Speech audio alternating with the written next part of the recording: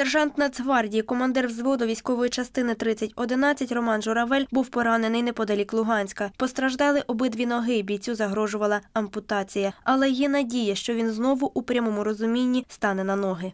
Сначала они провели эвакуацию, это было в город Лисичанск, с Лисичанска в Харьков, с Харькова в Киев, потом меня забрала частная клиника Элая. Я приехал на консультацию, как мне объясняли до этого, в процессе такой травмы только эндопротеза, это там, ну, полная, как говорится, ампутация коленного сустава и всего остального, то есть замена его.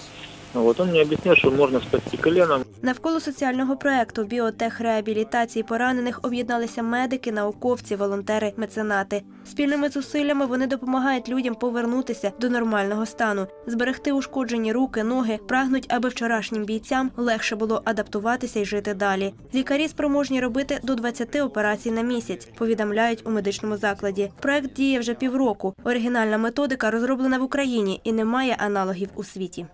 Когда наступила война, то э, оказалось, что именно эта технология приоритетная для страны. Для того, чтобы нам вылечить одного, допустим, бойца с э, угрозой ампутации ноги или руки, нужен какой-то бюджет, и этот бюджет составляет где-то там 10-15 тысяч долларов.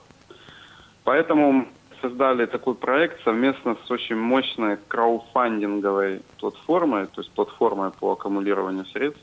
Это называется народный проект peoplesproject.com. Мы берем в проект исключительно случаи, где нужны безальтернативные наши технологии, где, как правило, несколько было проведено операций и не было результата и так далее. Разрабатывала группа биологов и клиницистов, начались разработки в Донецке, в институте ГУСа.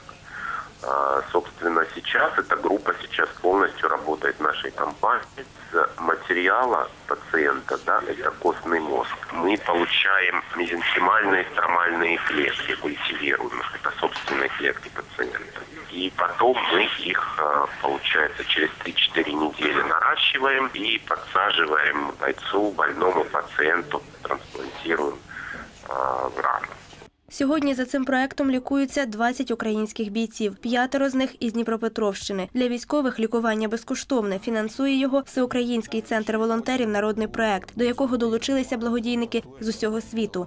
Медичний центр знаходиться в Києві, і його працівники запевняють, не відмовлять жодному бійцеві. Аби стати учасником проекту, необхідно звернутися до клініки за консультацією. Олексій Шершньов говорить, медики сподіваються на державну підтримку такого важливого для українських військових проекту, але в будь-якому разі допомагатимуть героям-захисникам, які пожертвували своїм здоров'ям заради батьківщини. кажуть, прості люди вже підтримують хлопців, перераховують власні кошти на лікування співвітчизників, хто скільки може. А наш земляк Роман вже пережив більше десяти операцій. Попереду фінальний етап відновлення кістки та реабілітація.